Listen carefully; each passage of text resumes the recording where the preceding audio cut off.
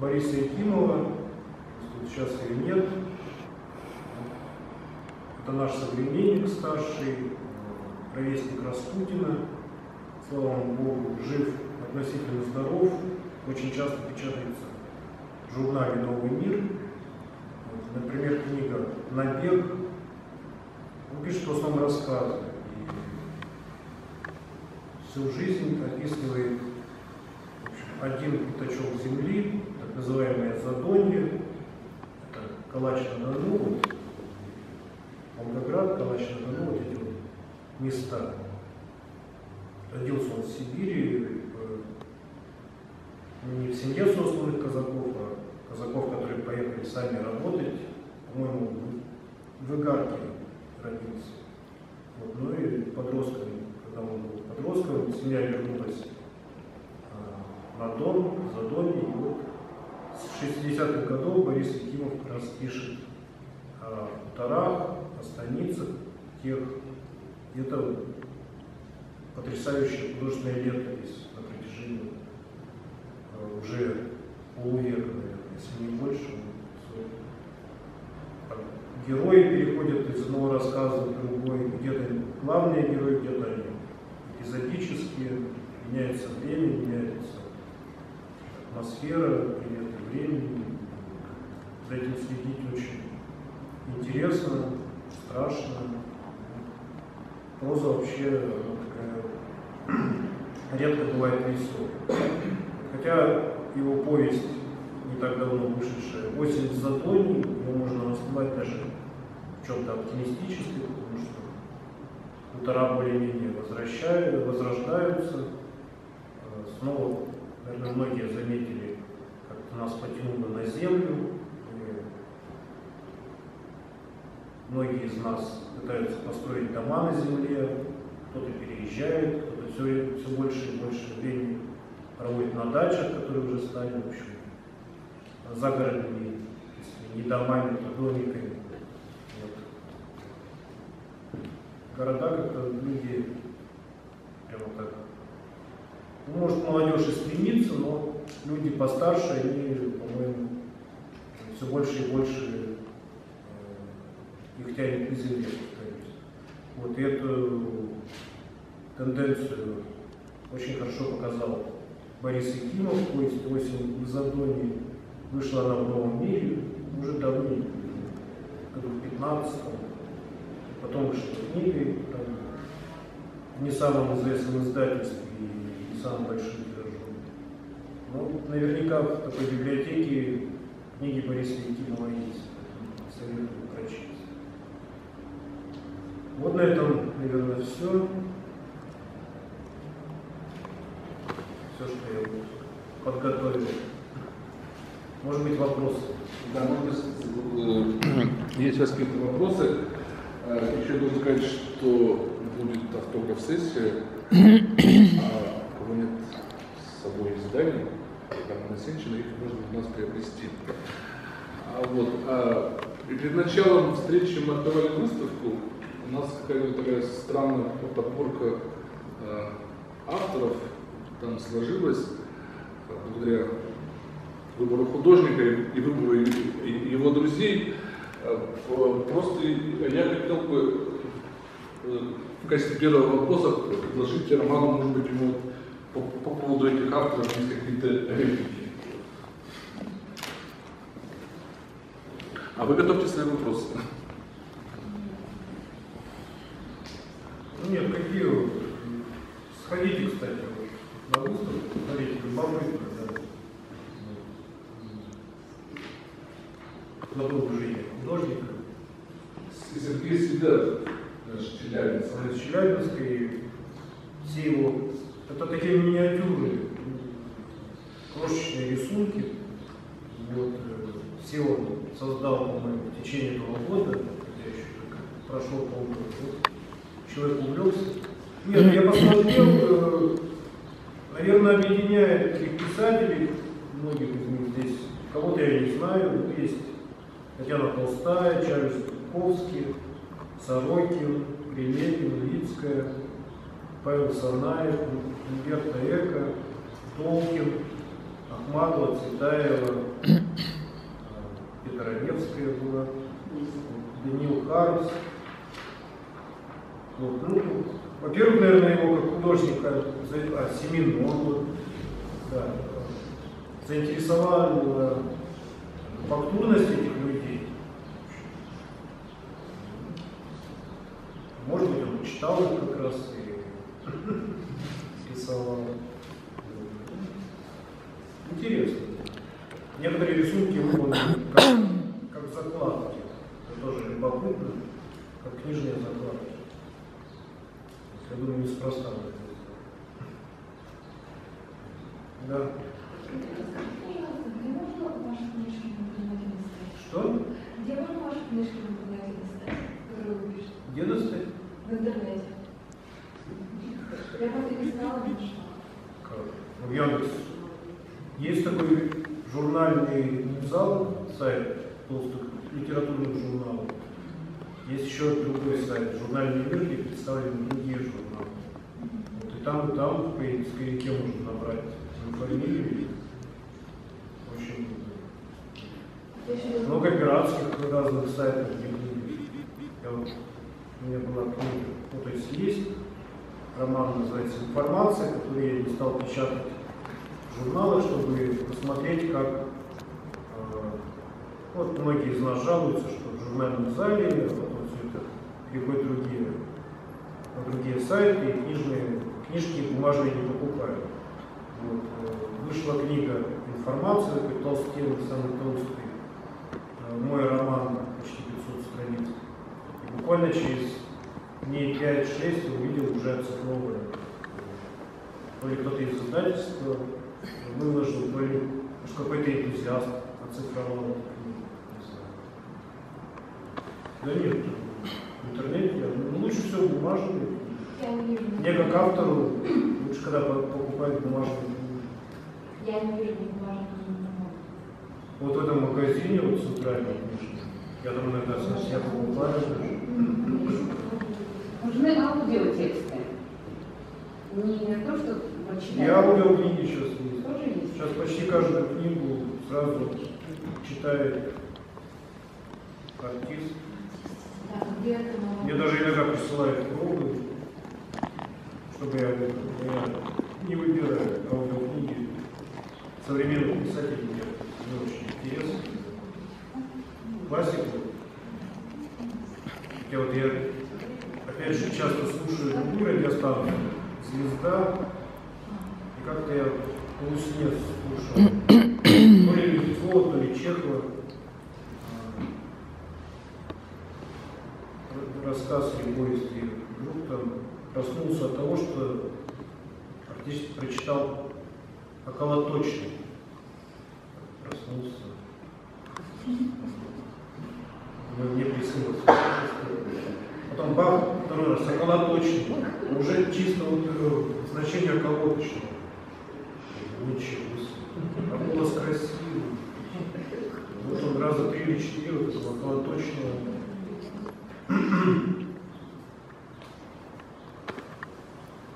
Пожалуйста, еще. Журнал Что? Журнал Традиция авангарда, это журнал, да? Опять же, в интернете можно, а можно и бумажные версии. Бумажные версии заказать. А он Вот я сижу в Екатеринбурге, а вся техническая работа происходит в Москве. Но я пользуюсь своим положением, я много довольно местных писателей. И в каждом номере выходит, ну, журнал выходит ежеквартально, не часто.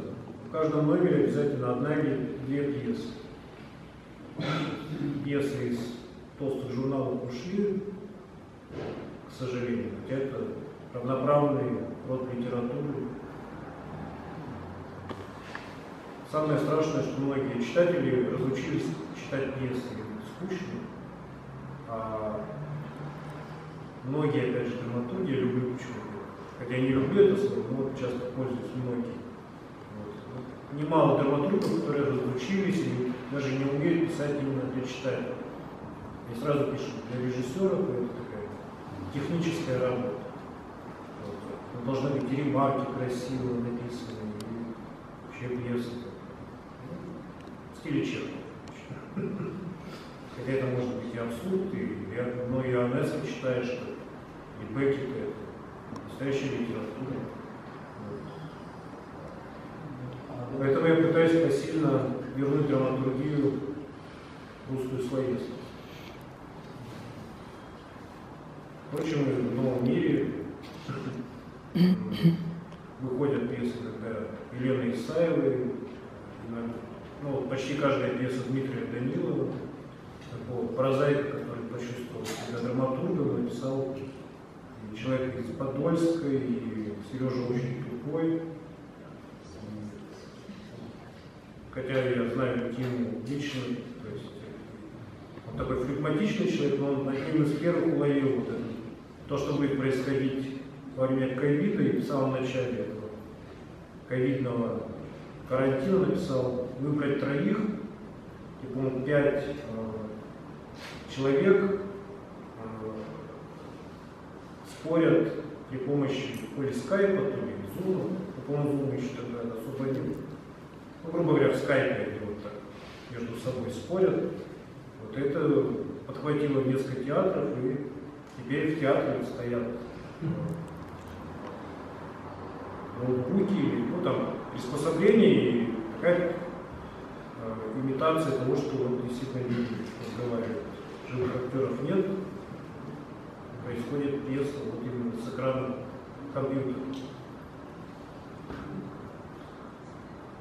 Сейчас ЦСД поставили пьесу Сережа очень тупой. Мы опоздали на спектакль, то есть приехали поздно, а сейчас ЦСД ушел на каникулы, думаю, осенью посмотрю. Пьеса загадочная, интересная, почитайте. Вышла недавно книга пьес Дмитрия Данилова. Пожалуйста. Да. Роман Валерьевич, несколько лет назад вы планировали с издательством «Лидеро» а, проект э, «Выбор» Романа Симчина, когда рассказывал. А, ну, Ну, что-то не пошло, не пошло, но вот сейчас э, вопросы именно по современным а, авторам. Кого-то вы выделяете из э, своих коллег современных? Нет, дело сначала пошло. Сюда приехал Олег Седов, такой директор издательства Алфара, бывший. Ну, Алфара хорошее было питерское издательство. Ну, как там закрылось. Вот, Его пригла- пригласили в Риберо. Он организовал сеть принтов, там Павел Крусанов и Дмитрий Орехов, еще несколько человек. Я в том числе. Потом он уволился, и Рибероном сказали, по крайней мере, мне сказали, что вы можете продолжать, но сами будете делать обложки, верстку. Ну, мне как-то это стало. У меня много других еще занятий, кроме того, чтобы делать, верстать книги. Вот. А те, которые вышли, довольно много успело выйти, они до сих пор там висят. Две, правда, уже не висят. Андрей Рубанов выпустил свою книгу в другом издательстве, там по условиям закрываем доступ. Может, там, когда права кончатся, мы снова. Авторы получают проценты, минимальные. Вот, э, то есть это в таком хоть замороженном виде, но у меня это продолжается. Я с Рибером в плане отчислений тормошу, присылают мне, я рассылаю своим авторам. Вот две книги. Эти импринты были представлены на Московской книжной ярмарке в свое время. Кто-то проходил из магазина Москва, крупного магазина в Москве книжного, и стал э, заказывать книги того же Андрея Рубанова и Алисы Ганиевой. И они, крайней мере, лежали в магазине Москва, и продажи были относительно неплохие. Вот. Бумажные. Ну, а остальные похуже. Хотя всплески бывают. Бах, приходит отчет, а там автор, которого мало кто знает, ну, произошел или несколько книг заказали, или много скачиваний виде. Вот дело это хорошее, потому что много-много книг, которые выпускают сразу бумажным тиражом, они остаются или у автора дома, или в издательстве, или в книжном магазине, они полежат на полке полгода, э, бухгалтеры посмотрят, маркетологи, что книга не распродается и возвращают обратно издателю. Ну, Такая печальная судьба у многих книг. Когда книга по требованию, в общем, э, практически такая, как в книжном магазине. В общем, мы свободны от вот этих пачек книг, которые загромождают многие издательства. А сейчас слышали? современных, ну, почти все мои ровесники, например, Дмитрий Куцко такой из Ростова-на-Дону, вот, Илья Кочергин, Прилепин, Андрей Рубанов, Анна Козлова, Дмитрий Новиков, Михаил Тарковский, он постарше, ну, Москвы уехал на Енисей, вот, в Сибирь. Мне очень интересно, как писатель, как человек. Ну, Всех их можно найти в том же журнальном зале. Кто-то печатается в новом мире, кто-то в знамени, кто-то в нашем современнике. Книги, книги или произведения в сети найти довольно. Да. Так, ну давайте я... А, о человеке, ой, кому-то... Кому попутка вопросов? Девушки будут. А, Сейчас. а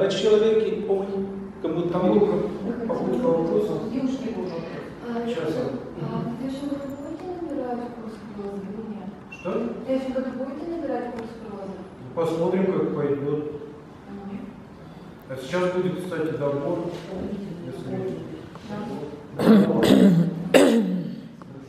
А, как- а когда вы набираете? Что? Если добор будет, когда документы Это надо театральный, зайти на сайт театрального института, и там, по-моему, все понятно. Позвонить в приемную комиссию. До какого числа доборите? Что? До какого числа доборите? Я точно не помню. Да. В течение августа, по-моему. Или до 15 августа. Спасибо. А Приемная комиссия решила. а сколько всего человек подавал заявление? Подавала довольно много, но в итоге попало пока 4 человека. Ну, и кое-кто будет военнослужащим, я разрешил. О человеке часто говорят не только симпатии, но и антипатии. Я вот как читатель иногда не могу себя принудить. Признаться, Ибсена не дочитал со времен школы. Боюсь войны и мира, открою и снова боюсь. У вас есть книги, которые вы не пересилите себя, вот, не, не, не дочитали. Равно из классики, из современники несколько раз приступались. И почему, что внутри противится? Ну, вот, например, Александр Дюма ни одной книжки не дочитал почему. Хотя я не знал тогда, что очень скучный Вальтер Скотт, ну, мне было лет 12, я читал один роман за другим. А Дюма почему-то не, не пошел. Брал одно, другое, никак. Совершенно не мое.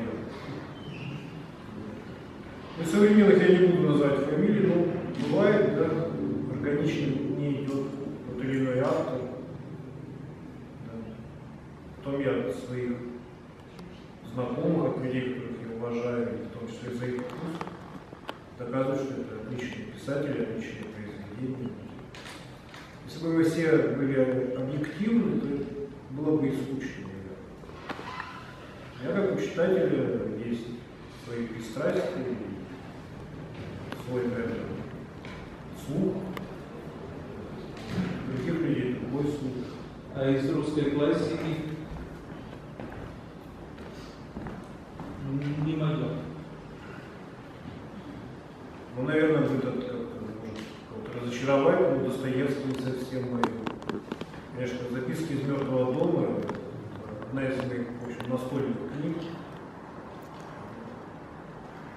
А братья Карамазовы, когда там, по-моему, идет Алеша по тропинке или по улочке, выскакивает, по-моему, то ли Дмитрий, то ли Иван. Дмитрий, по-моему, начинается исповедь горячего сердца на, на 40 или 60 страниц. Я сразу как не ну, развел мозг, вот так на этой тропинке, вот, так долго ему все рассказывал. Хотя в Достоевском есть вот эта вот загадка, которая его ставит, конечно, в- среди первых русских писателей первого варианта. Ну, его потом же вдова э, долго оправдывала упорно, что ему некогда было править свои произведения. Да, даже. Вот Граф Лев Николаевич мог сидеть и годами переписывать свои книги, а Федор Михайлович, к сожалению, не мог. Ну, может быть, если бы он сидел и переписывал, было бы совсем все не то. А эта экспрессия, она, да, имеет большое воздействие. А еще вот такое, что особенно после сериала появилось среди очень молодых девушек много Настасьи Филиппов. Появилась такая как, мода даже на истеричность.